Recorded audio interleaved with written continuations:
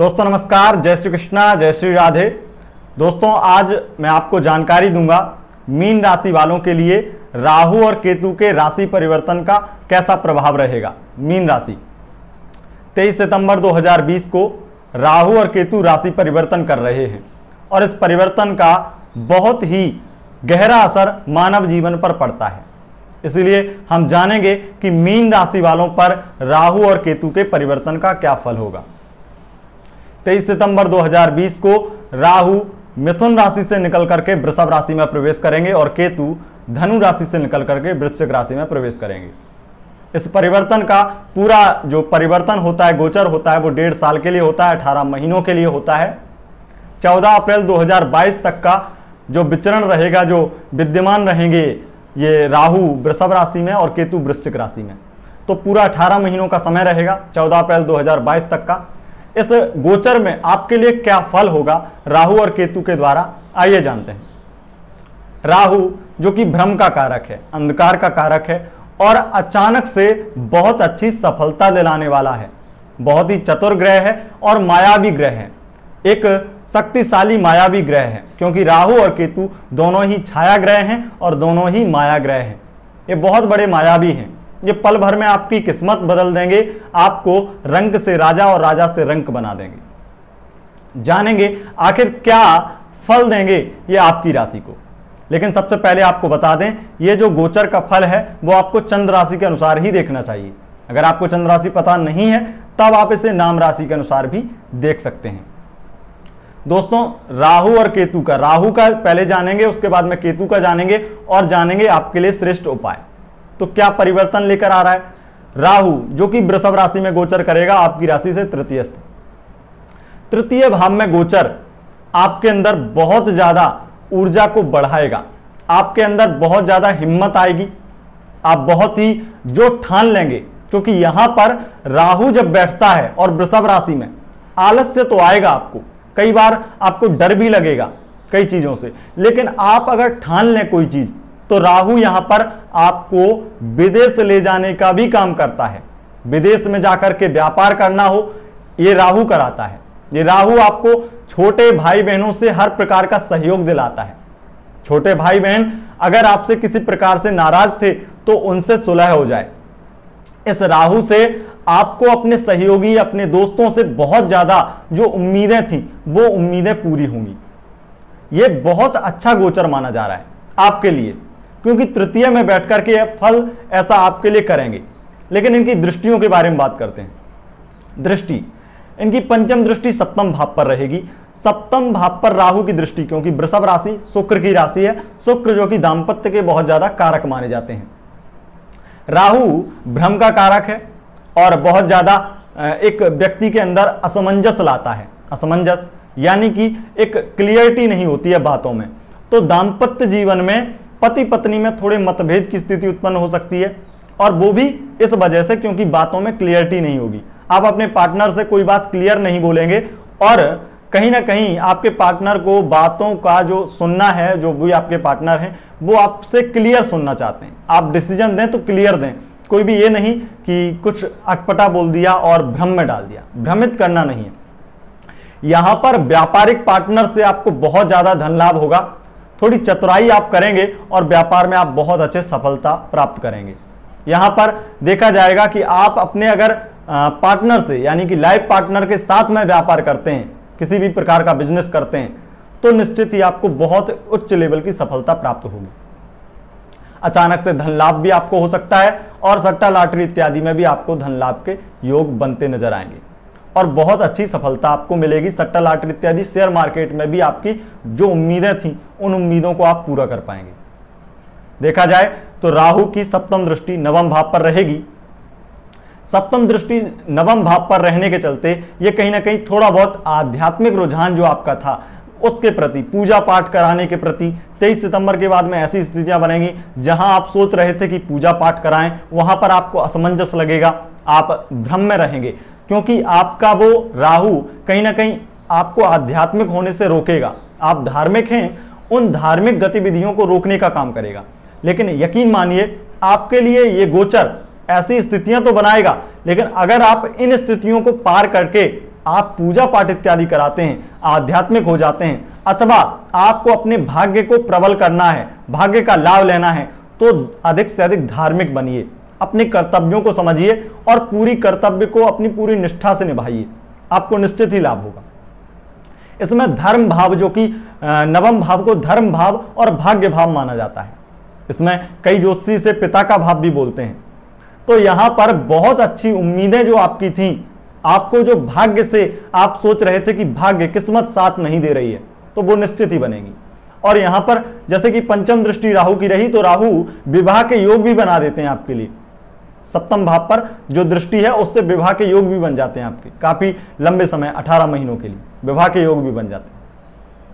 यहाँ पर बस आपको यह ध्यान रखना है कि नवम भाव पर जो दृष्टि है, राहु की सप्तम दृष्टि, आपको किसी के साथ विश्वासघात नहीं करना है। जो आपने एक राय रख दी किसी के प्रति, कोई भी कमेंटमेंट कर दी आपने तो उसे निभाइए, उससे पलटिए मत, अपनी बात से मुकरिए मत।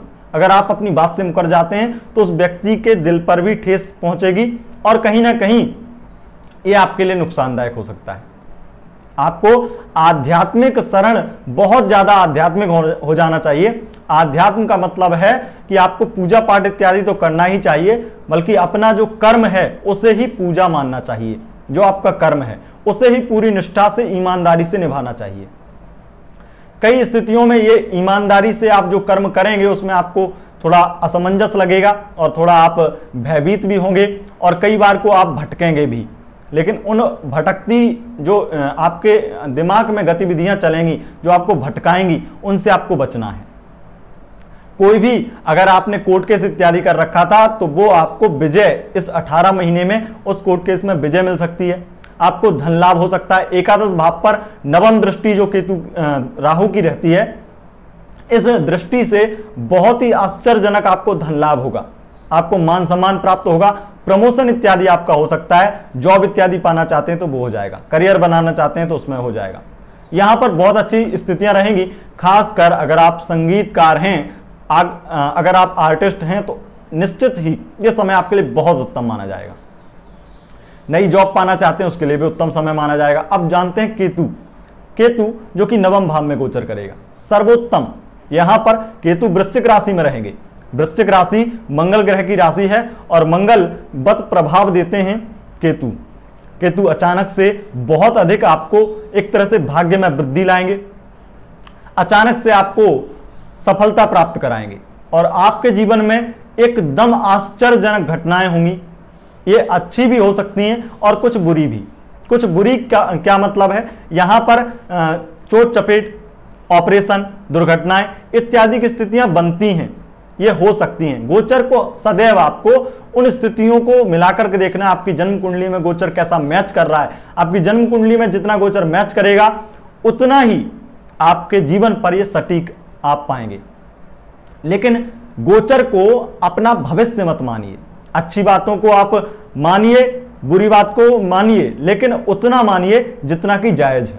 उस पर ही डिपेंड मत हो जाइए, क्योंकि ये करोड़ों लोगों की राशि है, आपकी अकेले की नहीं है। केतु की पंचम दृष्टि के बारे में बात करते हैं। केतु की पंचम दृष्टि लग्न पर रहेगी, आपकी राशि पर रहेगी, और इससे आपको अचानक से जल्दबाजी में कार्य करने की बहुत ज़्यादा आपके अंदर ऊर्जा आ जाएगी। तो जल्दबाज मत बनिए। सोच समझकर फैसला लीजिए, जल्दबाजी में कोई काम मत कीजिए और अगर आप किसी दूसरे की सलाह लेते हैं यहाँ पर यहाँ पर, और खासकर ऐसे व्यक्ति से जिस पर आप सबसे ज़्यादा विश्वास करते हैं, जिससे आप अपने दिल की बात शेयर करते हैं, उनसे अगर आप राय लेंगे तो निश्चित ही आपको बहुत अच्छा लगेगा और आपको सफलता भी प्राप्त होगी प्रत्येक कार्य में। खासकर अपनी पत्नी से या अपने पति से कोई भी राय लेती हैं या लेते हैं तो निश्चित ही आपको सफलता प्राप्त होगी प्रत्येक कार्य में। थोड़ा बहुत चिड़चिड़ेपन का स्वभाव होगा, उसके लिए आपको उपाय बताएँगे। यहाँ पर अगर सप्तम दृष्टि के बारे में बात करते हैं तो सप्तम दृष्टि जो कि केतु की तृतीय भाव पर रहेगी, और इस दृष्टि से आपको अत्यधिक मेहनत करने की जो क्षमता है, आएगी आपके अंदर। और आप एक मायावी की तरह बहुत ज़्यादा काम करेंगे। आपको देख करके लोग कहेंगे कि आप इंसान हैं या कुछ और। आप इतना अचानक से अकेले कैसे कर लेते हैं? इतनी मेहनत अकेले कैसे कर लेते हैं? आश्चर्य मानेंगे लोग आपकी मेहनत को देख करके। आपसे इतनी मेहनत कैसे हो जाती है? मैं तो इतना कर ही नहीं पाता हूँ। ऐसी स्थितियाँ बनेंगी, लेकिन आपकी मेहनत आपने जो ठान लिया है, वो आप पाकर रहेंगे इस गोचर में। आपको आपकी मेहनत का फल निश्चित ही केतु दिलाएँगे। हर प्रकार से ये केतु आपके लिए बहुत ही अच्छे माने जाएँगे। अब केतु की नवम दृष्टि के बारे में बात करते हैं। केतु की नवम दृष्टि पंचम भाव पर रहेगी। इसके लिए थोड़ा सा आपको सतर्क और सावधान रहना चाहिए। अगर आप विद्यार्थी हैं तो आपको अचानक से आपका मन थोड़ा मलिन हो सकता है, खराब हो सकता है, आपको पढ़ाई में मन ना लगे, भटकाव की स्थितियाँ, या आपको कुछ अलग ही आप सोचें जो कि आपके लक्ष्य को ना दर्शाता हो और आप एक स्थिरता अपने जीवन में ना देखें। आपको ऐसा लगे कि आपको एक लक्ष्य आप चुन नहीं पा रहे हैं। ऐसी स्थितियाँ बनेगी। तो एक जो आपके अंदर अस्थिरता आएगी, उसे आपको दूर करना है। मन अशांत रहेगा, इसमें चिड़चिड़ेपन का स्वभाव भी आपका हो जाएगा। किताबों को फेंक देंगे उठा करके, किताबों को पढ़ने में मन ही नहीं लगेगा। कोई ज़बरदस्ती पढ़ाएगा तो चिड़चिड़ेपन का स्वभाव आपका बन जाएगा। ऐसी स्थितियाँ बनेंगी। खासकर अगर आप गर्भवती महिला, इस गोचर में गर्भवती होती हैं तो आपको थोड़ा सावधान रहना चाहिए। ऑपरेशन से आपको संतान उत्पन्न हो सकती है, आपका जो गर्भवती आप होती हैं तो आपका जो उत्पन्न होगा, संतान उत्पन्न होगी, वो कहीं ना कहीं ऑपरेशन से होगी। और यहाँ पर ऑपरेशन से संतान उत्पन्न होने में कोई दिक्कत नहीं है, पर आपको यह ध्यान रखना है कि ऑपरेशन इत्यादि के टांके इत्यादि जो होते हैं, वो आपको बहुत ही संभाल करके काम करना है, कोई भी लापरवाही नहीं करनी है, जिससे कि आपके टांकों में कोई भी प्रॉब्लम आए, ऑपरेशन में कोई प्रॉब्लम आए। इसलिए आपको इन चीज़ों का ध्यान रखना है। बाकी आपके लिए बहुत ही उत्तम समय है। इस बीच में आपको संतान उत्पत्ति भी हो सकती है और ये संतान उत्पत्ति आपकी बहुत अच्छी संतान और आपके भाग्य को लेकर के जन्म लेने वाली ये संतान होगी आपकी।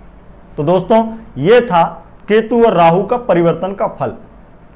अब जानते हैं कि आपको उपाय क्या करना चाहिए। उपाय में आपको ओम नमः शिवाय, इस मंत्र की ग्यारह माला प्रतिदिन करनी चाहिए। आपके लिए सर्वोत्तम और अच्छा लाभकारी समय रहेगा। अगर आप महामृत्युंजय मंत्र की माला करना चाहते हैं तो जब कर सकते हैं। महामृत्युंजय मंत्र, पूर्ण महामृत्युंजय मंत्र।